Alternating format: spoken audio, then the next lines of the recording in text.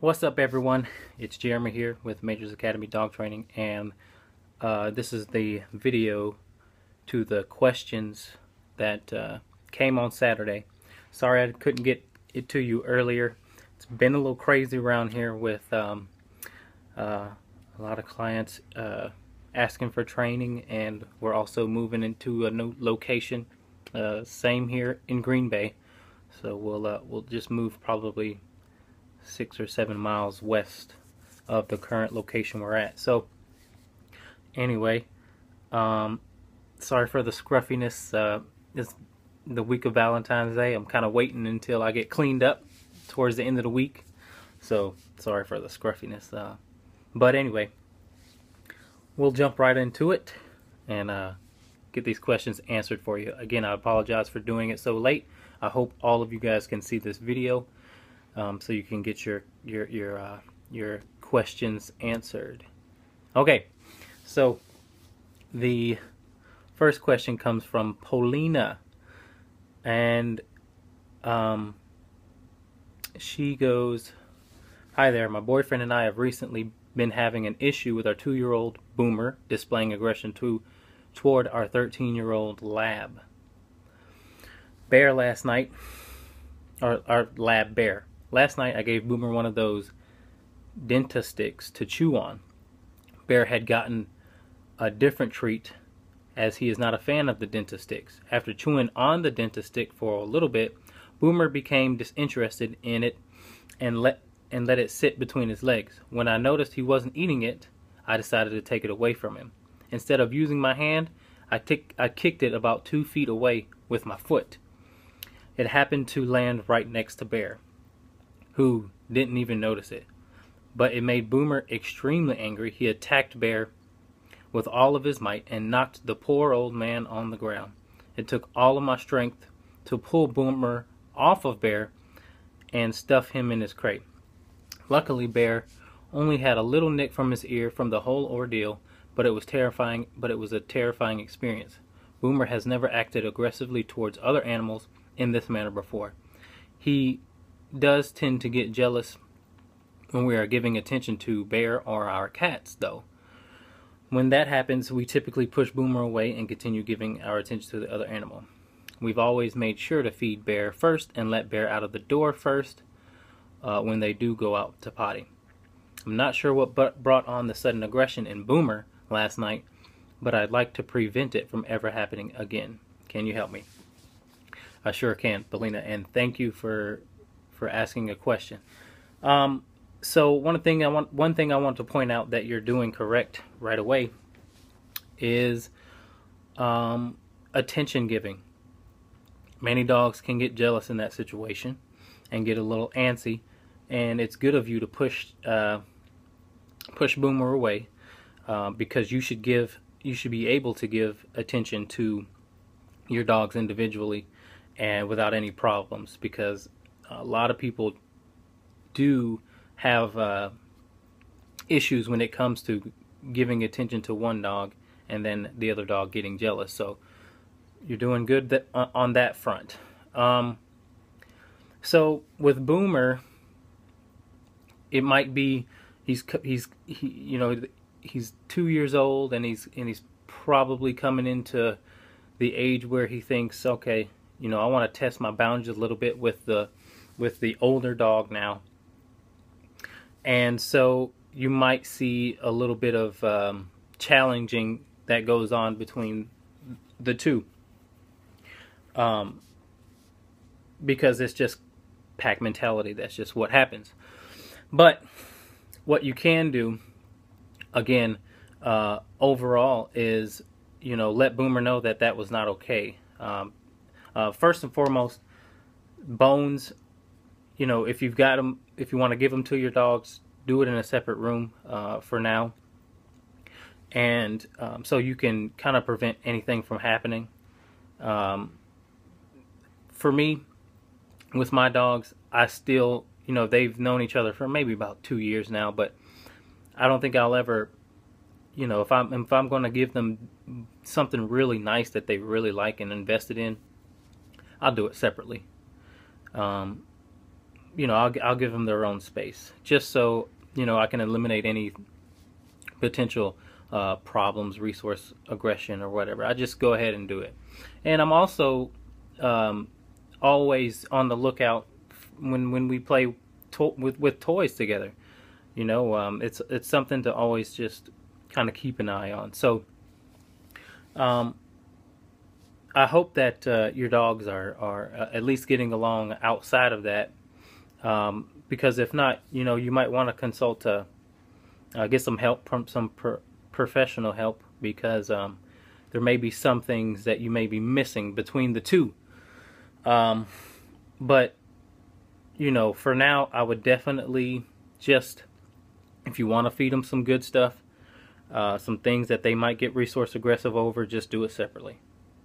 And um, make sure you just keep an eye on uh, Boomer when it comes to, uh, you know, petting bear or your other animal. Um, you know, make sure you know if Boomer even thinks about it that uh, you know he has he gets a consequence for that. Um, one of the things I tell people all the time is um, correct correct the thought uh, before it becomes the action. So you can have you knowing your dogs, you know the look kind of Boomer gives you before he, you know, even gets to that point where he gets jealous or comes in between you two trying to get attention when you're giving attention to Bear. Um, so even when he's just approaching you guys, you should give him a consequence on that. Um, but overall, you know, I think um, Boomer needs to be able to listen more uh, because um, I can do that with my dogs and nothing happened, be- but I have to be watching them. I want to be watching them so that I can again, uh, you know, tell them no and they and, and, and they'll listen to me. So um, overall, Boomer should always be listening to you first and foremost, no matter how he feels about any other dog. But secondly, try and go ahead and prevent it by keeping them separate. Let the old man have his bone or whatever uh, on its own, and let him enjoy that. And and bear if he doesn't, or uh, excuse me, if Boomer if he doesn't want the the bone or whatever, then pick it up for him. Okay. I hope that helps, Polina. Thanks for your question again. Okay, we have a, another question from Susie. And she says, Hi, Jeremy. My, my Emma was a rescue from Mit Liebe, German Shepherd Dog Rescue. She's almost eight, and I've had her for about nine months. She's a good girl and knows basic commands. I work with her daily to reinforce good behavior. The only issue I have is she barks excessively when someone rings the doorbell. Comes to the door. She does not do it in an aggressive manner. She just gets excited, tail wagging like crazy. I do want her to bark when someone approaches. Prior to Emma, prior to Emma, I had a stalker break into my house, so so I greatly like the fear factor she puts out there. However, I would like to train her to to bark to alert, but then stop and sit, waiting to be approached. Am I asking too much? I work out of my home and keep training treats in the pocket.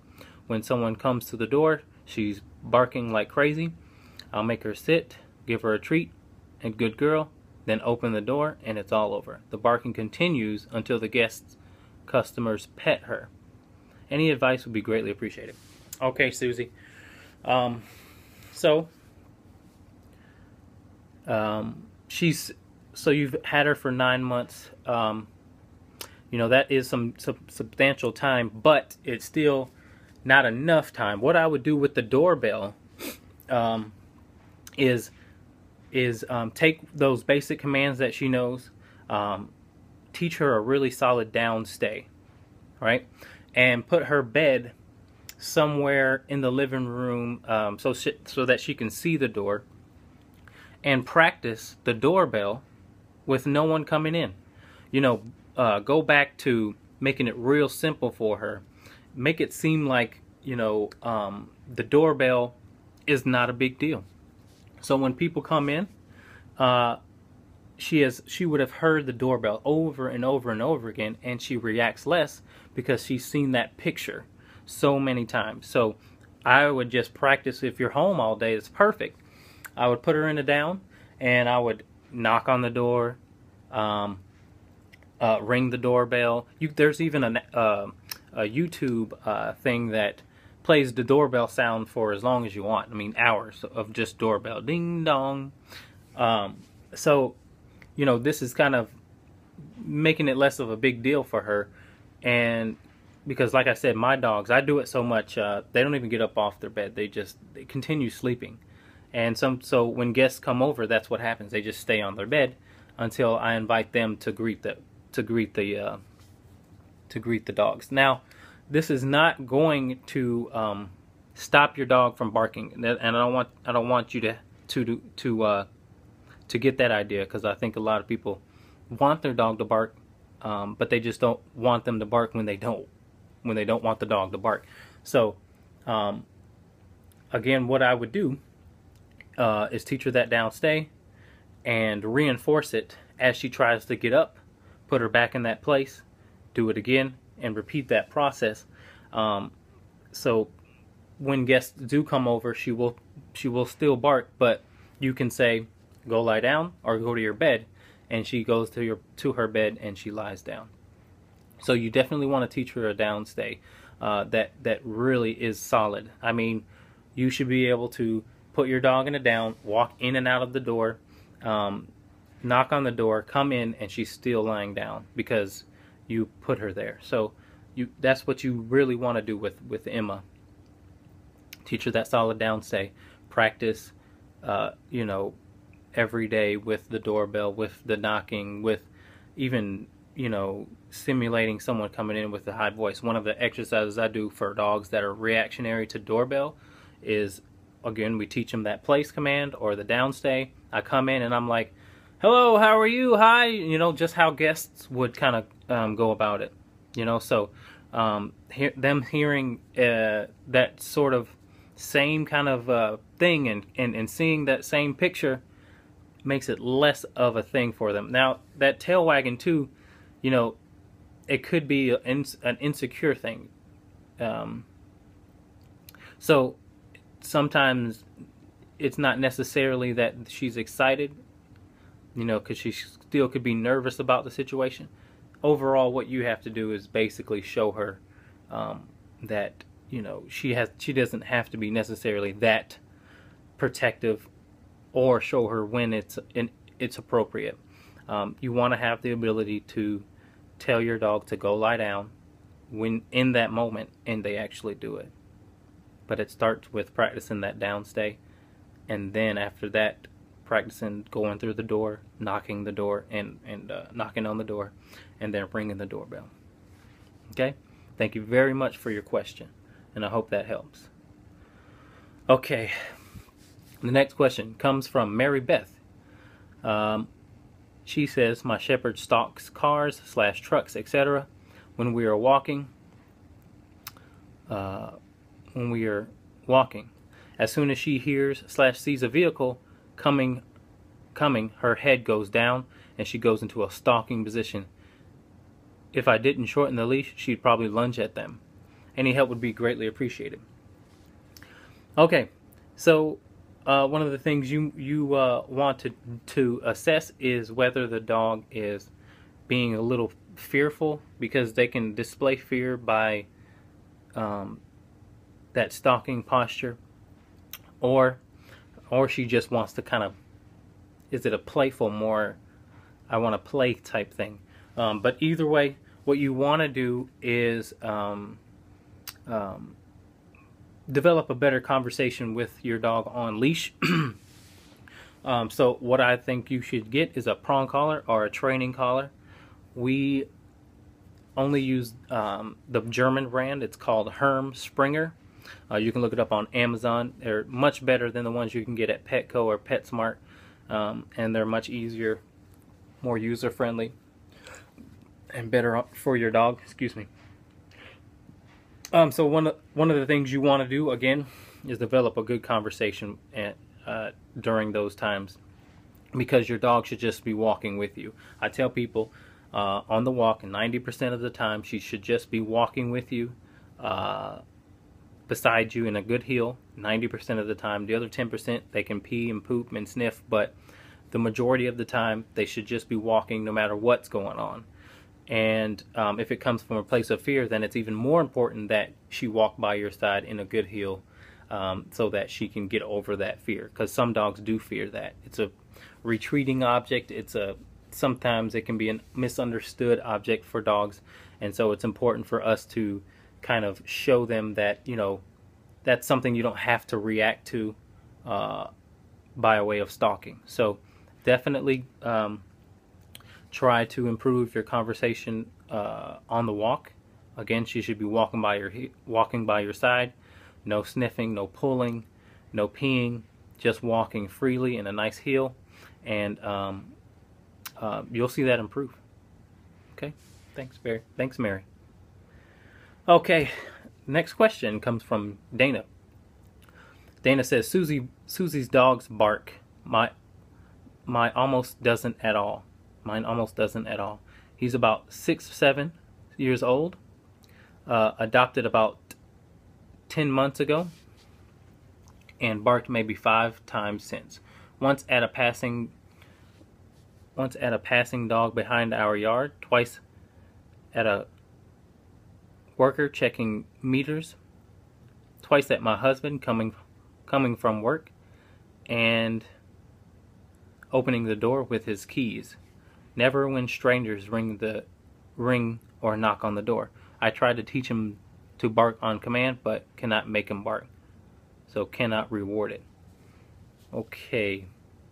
Um, so I'm not sure what your question is. let me try to read it again. Susie's dogs. Susie's dog barks. Are you talking about Susie Reynolds' dogs? we'll have to. I'm gonna conversate with you on uh, Facebook because I want to uh, make sure we get. I'm not quite sure what you uh, what you're asking, but um, we'll we'll we'll conversate on uh, on on Facebook so we can get that get your question answered. Okay. Next question comes from Pat. Uh, working on long-term problem with coach. Both dogs are are in their crates in the study. Coach is by the door. Um, dog walker comes and takes coach out, walks and then puts him away. Then Reggie then goes to get Reggie out. Coach goes ballistic, charging and barking as Reggie walks past. Okay, Reggie. Okay, FYI, Reggie does not egg him on. Coach usually coach's usual working level is 4 to 7. A 25 had no effect on him on stopping him. How do I find the right level? And do I say anything quiet when I'm working this? Great question, Pat. A lot of people struggle with this. What I would do is bump it up to about 60. Okay? Because um, in that moment, coach is still feeling like, you know, he is allowed to do that behavior. And knowing you guys and working with Coach and Reggie, um, I think Coach just feels entitled. There's no fear going on with him. He just doesn't like. I almost think he he's almost getting a little jealous that he can't be out right now too, and he takes it out on Reggie. So what I would do is knock it off. I would tell I would bump it up to 60 and try it there, and if not, go up from there. Um, because what you what you don't want to do is continue to uh, go at lower levels and get no results. Um, what you want to do is get that high level out of the way and then you can work to those low levels. He just has to know that you're for real about it. So go up high and then we can work back down low. But um, 25 is is probably nothing in that moment because he's adrenalized in that moment. So uh, their their tolerance goes up pretty high um, in those moments. So working level is out of adrenaline, and um, you'll have to find that level. Uh, and I, like I said, I would say I would bump it up to 60, and then work down from there. But he just has to know that that's not okay, and um, you probably won't have to do it again. Okay, Pat. Thanks for asking. Hope I get to see those guys soon. Okay, I think that's all from um, from Facebook, I got one Instagram uh, question to answer. And this is from user less is more 32. And the question is An adopter called me recently and wanted to know what else they could possibly do to get their new dog to stay in his crate and reduce anxiety while they're gone. He is in a wire crate and uh, with slide and lock front uh, with slide and lock front door and even with zip ties the dog breaks out of his crate uh, by thrashing his body to the sides until it collapses. He is nine months and less than 25 pounds. They've tried putting him in the kitchen with a double stack baby gates and he can scale it and is destructive. They have tried putting him in a crate with positive reinforcement while they are home for short spurts, and he does fine until they leave. They have filled his crate with a uh, variety of tasty, long-lasting treats, but Bones won't treats slash Bones, but he won't touch them when they're gone. They have an older resident dog who is house trained and not caged. They have tried exercise before the crate, and it makes no difference. Thunder Jacket also does not work. Is there more to that question?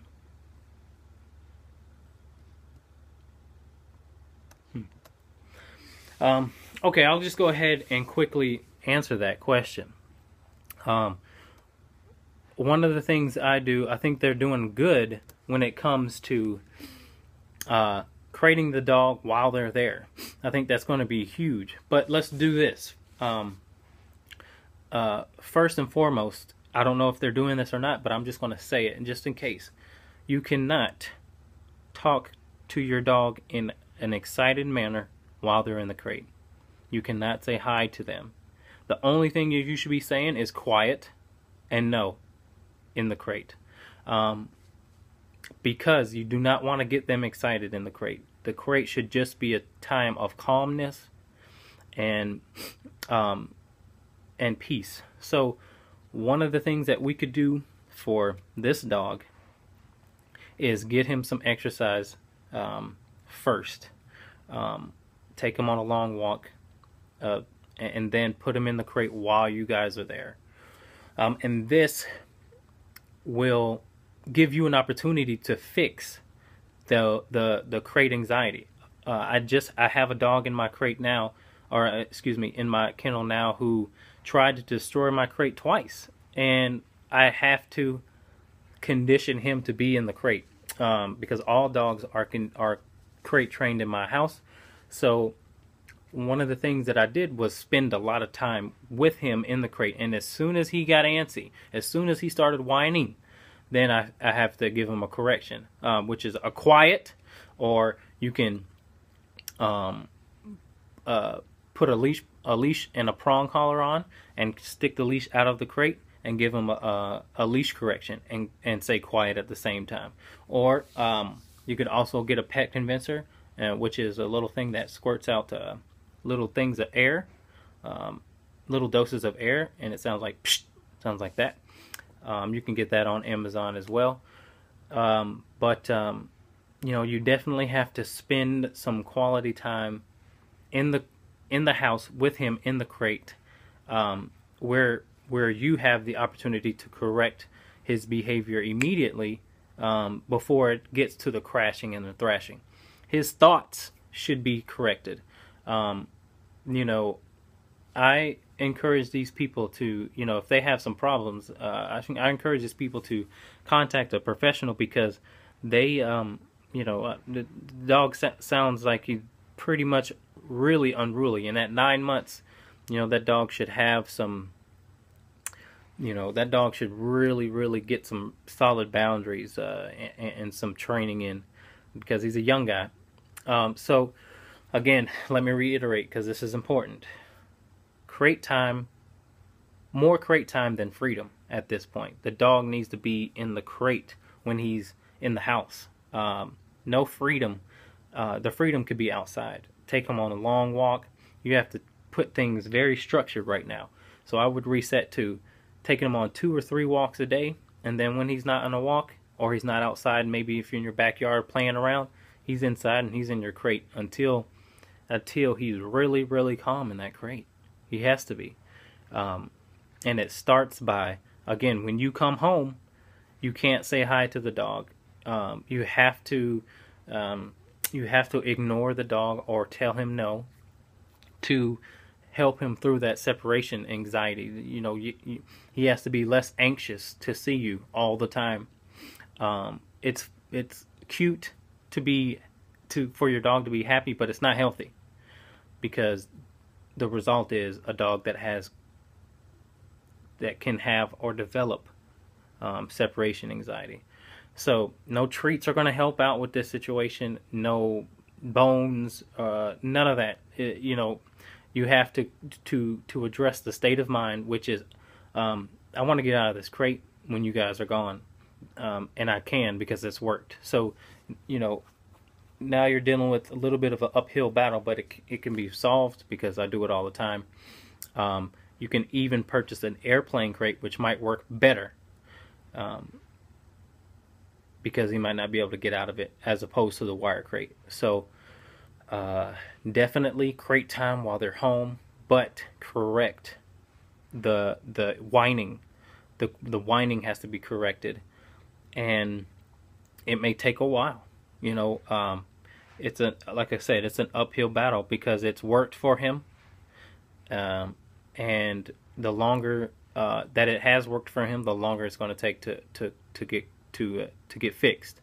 Um, so, uh, good luck with that. I think um, I think obviously he, him being so young, it can turn around quickly, but we do have to be consistent.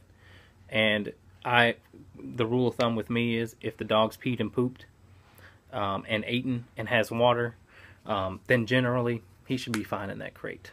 You know, he should not be whining. They should not be scratching or anything they should just be relaxing because we want that to be a time of relaxation in the crate. Okay, I hope that helps, guys. Uh, we'll be trying to do this uh, every Saturday. Again, you know, um, I apologize for the delay of the questions. Um, we are in the process of moving, and uh, again, I have um, quite a few dogs um, that are inquiring about training, and so it's been a little crazy, but good. And uh, so anyway, we'll do this next Saturday, and I hope to see you guys ask some more questions. Thank you so much, and I hope this helps. See you next time.